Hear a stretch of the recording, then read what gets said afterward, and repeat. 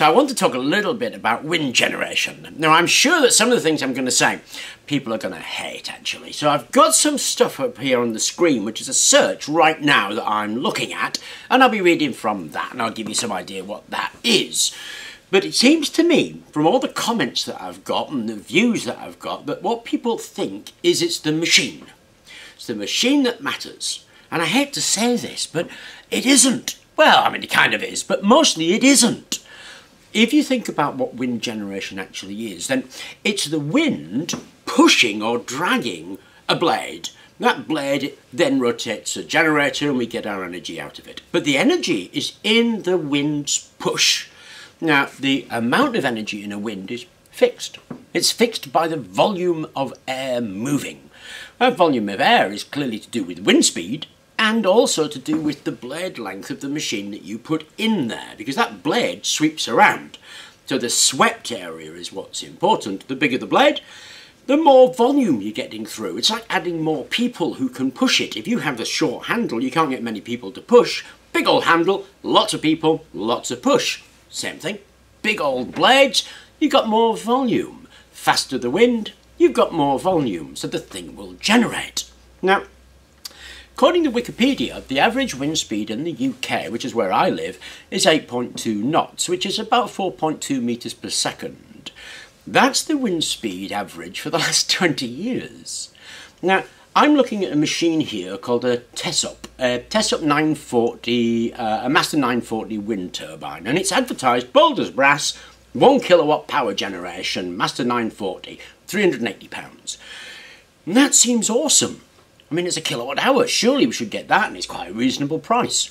But they also tell you what the blade size is, and the blade size is 0.8 of a metre. Now then, if I use an online calculator, and the on online calculator I'm using is Omni Calculator, and I put in that blade length with that wind speed, the available wind power is 91 watts.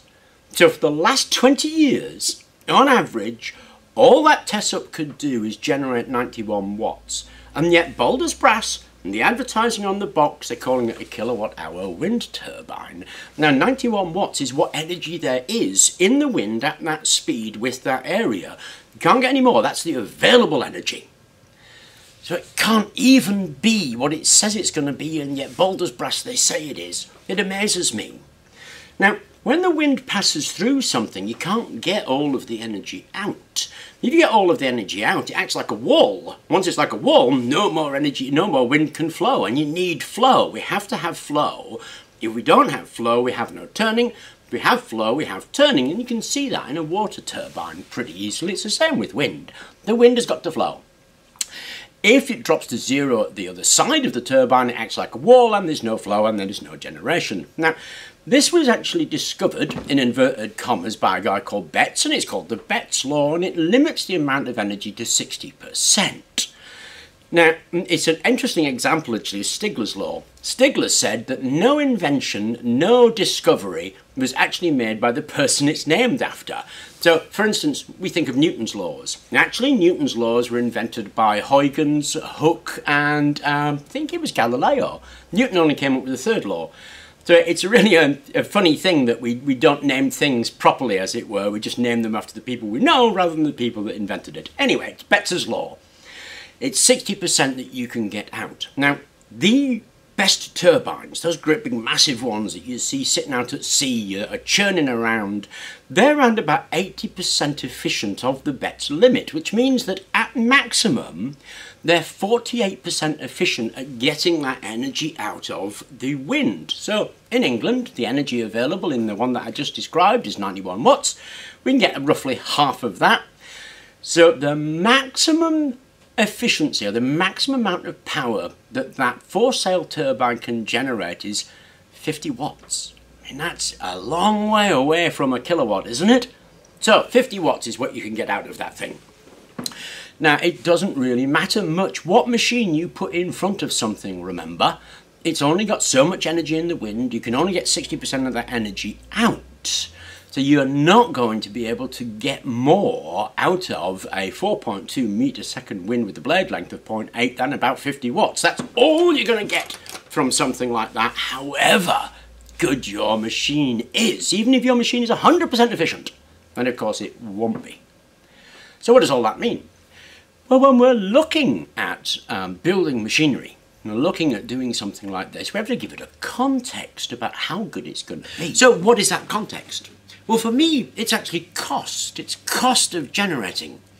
Now, you can make machines beautifully, beautifully efficient, but the more you approach the top end of that efficiency, the more disproportionately expensive they are because they require much better engineering. The better your engineering, the more expensive it is.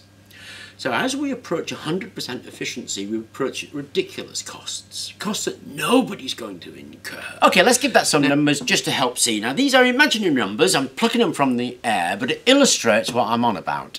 Let's say you build a 5 watt generator. Okay, nobody's going to do that, but let's say you do. And let's say that 5 watt generator costs you £50 to build. As it happens, the first £10 was spent generating 4 watts. That extra watt because of the costs of engineering, will cost you an extra £40 to get. Now that's the kind of orders of magnitude you're looking about when you're trying to improve efficiency by improving the engineering. 80% of the cost sits at that top 20% of improvement. So it's a lot of money. It's easier just to buy two 4 watt generators at a tenner because they add up to 20 quid instead of paying 50 quid because 40 quid is spent on that extra watt. If you have a less efficient machine, it's going to be cheaper to make. And let's look at what Luke did. I mean, what Luke did cost us about two hours of his time and maybe, maybe five pounds in nuts and bolts and welding rods, something like that. So a fiver or less because we were given the fan, remember. The soil pipe was reclaimed from something else. Even if you included the soil pipe, you're only looking at £10 in total for that machine. So if that machine was one uh, 38th, if you like, so one 40th as efficient, so even if that machine produced 140 of the 50 watts or so, so 2 watts, even if it did that, it's more cost efficient than buying that 380 quid machine. And that's the kind of thing I mean. Now, we measured it in a wind speed of 2.5 metres and it turned out to be more or less right. I mean, it was a little down, but more or less right. So in terms of cost, making those machines actually is far more efficient than it is in buying one. And that's what I mean about context. The context of wind generation has to be in cost. I mean, of course, you need more machines if you can have the same generation. So if we had two machines, we would generate more. We'd have spent 20 quid and we'd have about 30% more than if we'd spent 380 pounds. Two machines means having two more things to look at, but these are the kind of balances that you need to look at rather than saying to yourself, oh yeah, but is it super efficient? Super efficiency actually costs a lot. And super efficient stuff is actually more prone to breaking down than stuff that isn't as efficient. It does tend to be more robust. So those, I think, to my mind anyway, are the kind of context you need to think about wind generation. There's a huge argument that goes on between people. I have absolutely no idea why.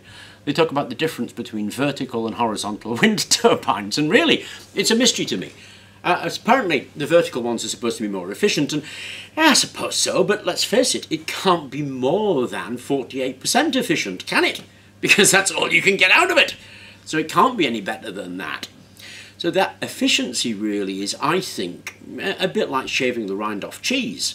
It's going to give you tiny little slivers of stuff that really doesn't matter that much. That's why I don't really care, because to my mind it doesn't matter. There are other things that are more important, like where can you put it? I mean, here in England, we have to have planning permission to put up a vertical wind turbine. But a horizontal wind turbine, you can bolt it wherever you like and as many as you like, and nobody's going to complain. Unless, I guess, you covered your entire house in them. It might get a bit upset. But if you put a couple of vertical wind turbines up on your roof and it looks a bit like a chimney, nobody's going to moan. You stick up a, uh, sorry, horizontal wind turbine. You stick up a vertical fan in your back garden, you need planning permission. So there's a whole host of other things to think about when it comes with um, these kind of things about what makes it a good wind turbine or not. But the chances are the efficiency of it, which is something that everybody seems to think is important, isn't actually that important. It's like I say, it's not the machine, it's the amount of wind that you can get through there, how fast that wind is going and what volume of wind. That's the real governor. The machine itself If it's efficient, you'll get more out, for sure. But that more out is going to be a bit like cheese rinds and it's going to cost you an awful lot of money to be able to get that efficiency. And you have to ask yourself the question, well, is it worth it? I mean, we can bolt together some really simple, cheap, effective things made out of stuff like bicycle wheels, car fans, washing machines, all sorts of stuff where we're paying 10, 20, 100 pounds on the thing and we get actually pretty decent generation.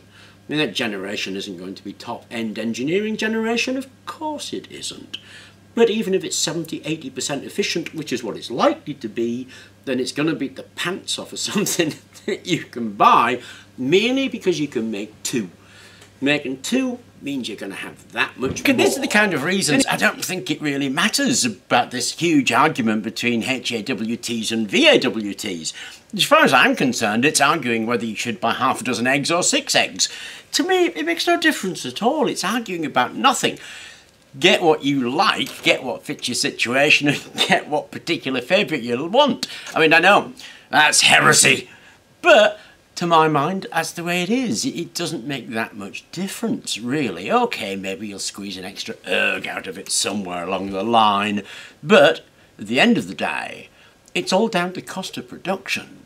Now, I was working it out actually, even if I'd bought that fan new, that fan would have cost me 50, 60 pounds. So the whole build out of new equipment would have been about £70 as opposed to £380. Astonishing. Anyway, I wanted to talk about those things because, as I say, I found that people are, I, I think, focusing too much on the machine rather than what is, for me, the reality of the situation. That reality is there's so much energy in the wind, and that's all you're going to get. There is a cost associated with generation, and there are other factors to think about rather than just what is the most efficient machine. Anyway, I thought I would share that with you. I hope you enjoyed the video and thank you very much for watching.